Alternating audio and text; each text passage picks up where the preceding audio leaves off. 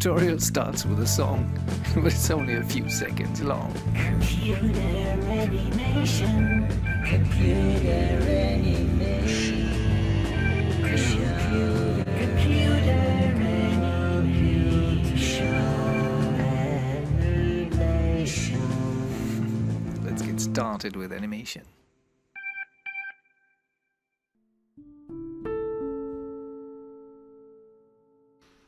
Hello, if you like this or not, I certainly like it.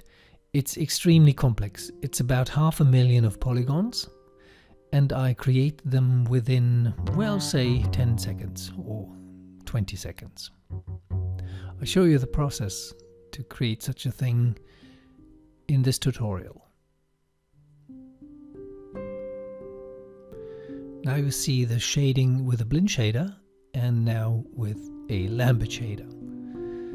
The whole texture is complex, extremely complex actually. It consists of many, many shaders and uh, when you convert everything to uh, Lambert it looks different.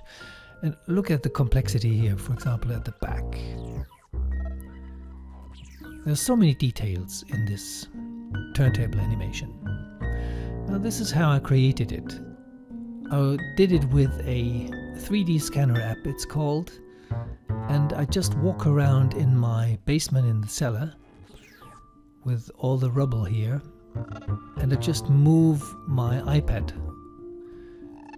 and uh, I think since the end of 2020 new iPhones have a LiDAR scanner built in and that's what I'm using here exactly. It's um, the app just makes use of the LiDAR scanner. It doesn't cost anything, and uh, it's only one of several apps which do this thing.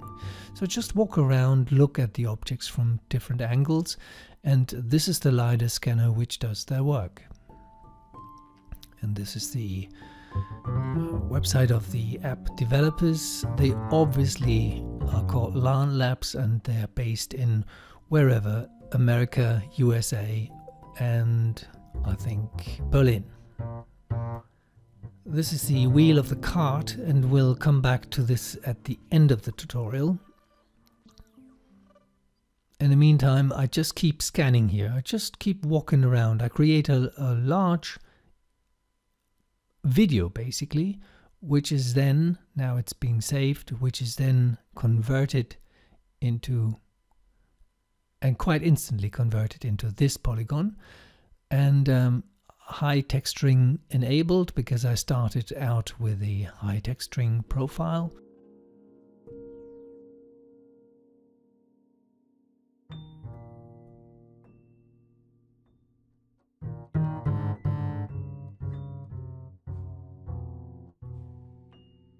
Now I saved it as an OBJ file and the OBJ file I can just drag and drop it into the Maya scene.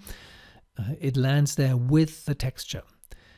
But the texture is really tricky because the because you have to well put a lot of effort into it to get glossiness in some parts and uh, unglossiness in other parts. Now it's in Maya and it looks basically the same as before, but now we can start manipulating things. The typical thing would be this bread which I baked. It's a wheat sourdough bread with sesame on top.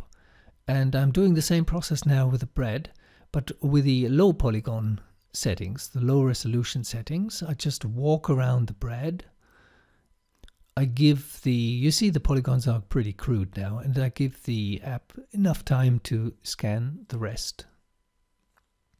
It's saving and it's texturing.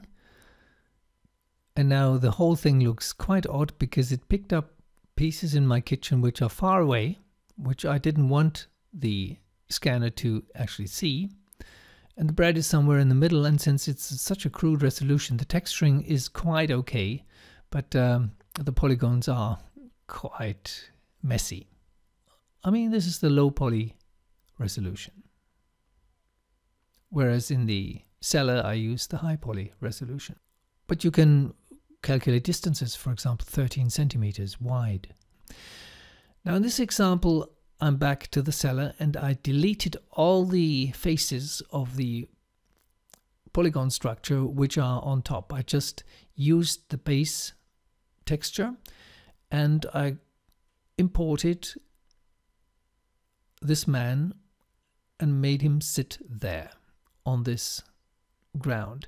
And you see that the texture is very rich. When I render it with a single light, it looks quite amazing already. And I just created this texture on the fly using my LiDAR scanner app. Same texture as a background.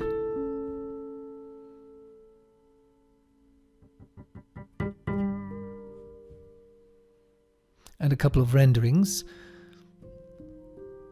all done so simply with a LiDAR scan, which actually took me a minute, I guess, yeah.